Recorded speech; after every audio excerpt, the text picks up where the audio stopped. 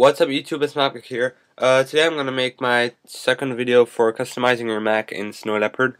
So sorry for my voice, I'm a little sick, but um, yeah. Anyways, uh, so I'm going to show you how to customize your dock, basically how to change the skin of your dock and where to get the docks, which is basically the most important because once you change the skin it's not that hard anymore. So uh, you've got a few tools for this. Uh, the main tool in customization things for Mac, which is really easy, is called CandyBar, but it is paid, so that's why I also uh, I will also show you, well, mainly show you uh, their alternatives.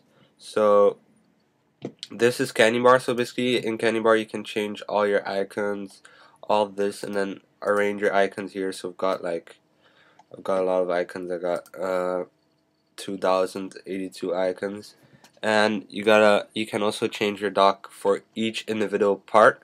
So for example here you've got the actual background. Sorry about that. Uh, the bottom edge so to make it 3D just at the bottom of your dock there.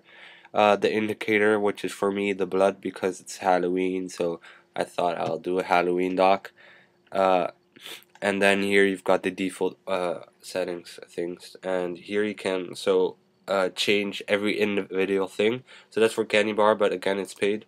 Uh, you can go check it on their website. It's uh, from a company called Panic. Uh, but then the second application I'm going to show you is uh, Dock Library, which is actually my favorite uh, one for the docs because I tested a lot before I had Doc Doctor, which was also quite cool. But dock Library is really simple and really to, easy to use, so that's why I really like it um, and I used uh, a lot this application. So uh, here you've got uh, some docs, though it's a little laggy I don't know why. Uh, it's probably because I'm using Snow Leopard. I'm not sure if you can uh, if you can um, let me just download the update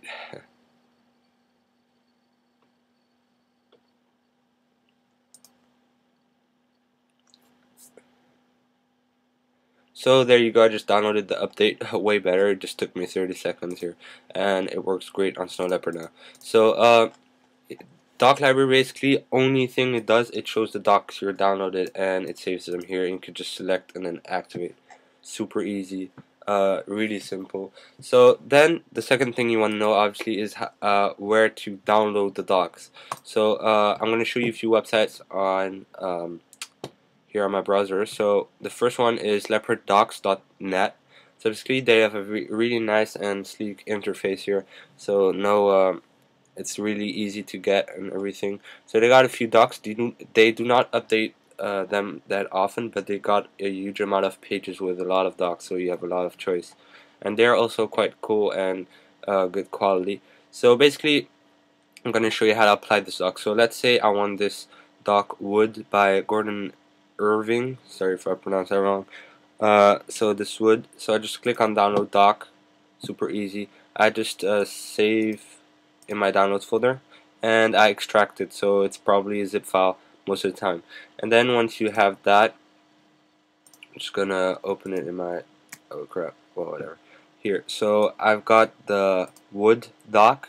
So basically, it's super easy here. Uh, you basically got a folder, which is the doc, and once you go in dock library you do import and then you actually go to that folder. So uh, you go downloads and then wood and then you just take the folder and open it and right away bam there you have it your wood.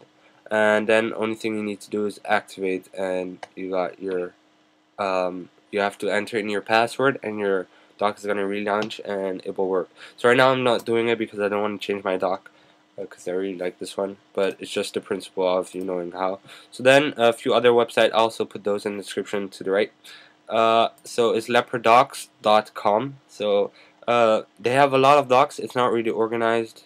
Uh, you can see I mean this is okay. It's uh, pretty nice but once you're gonna browse all docs there's going to be docs like way bigger than the page and all that stuff. So it's not really as sleek design as a leopard dock so for example. Oh no these are uh, vertical ones.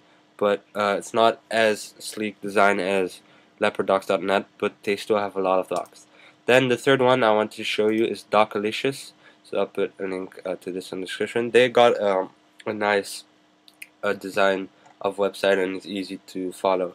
So what I recommend in docs, I'll put this link in the description. Just browse them by ratings because they have so much docs that uh, I recommend just browsing them by rating to have really the best uh, um, docs. So you can just do baddest rating or best rating, I think. Uh, so they, they have a lot of docs and they do update them uh, quite often. So this one is quite cool. Uh, so you got very numerous docks here. So this is a windy with some metal stuff, which just looks quite nice.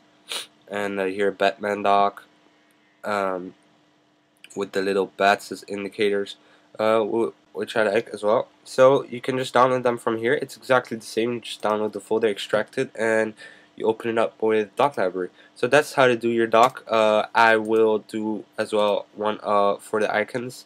Uh, basically for the icons you will need to use CandyBar. I'll show you how to do it differently but um, with another app which is free uh, and uh, is free but CandyBar remains quite, quite the best in in like a fully customization and really changing everything uh, especially for the icons because it's really good you just download a pack and boom you, it's going to change them all automatically for you so uh, but that I'll do that in the next video. So thanks for watching. This was uh, the doc uh, series, and uh, so I hope it all helped you. If, uh, if you have any comments, just comment down below. You can also send me a personal message, and be sure to subscribe, rate five stars, uh, more if possible, of course.